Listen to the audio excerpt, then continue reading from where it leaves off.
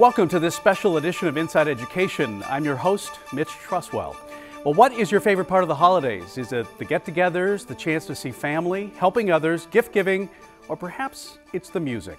For many Inside Education viewers, these holiday episodes are something they look forward to every year, and we're just as happy to help showcase some of the incredible talent found in our elementary, middle, and high schools in Southern Nevada.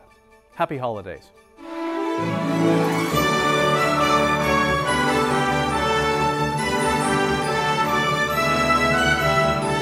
Worked very hard to get to where we are right now.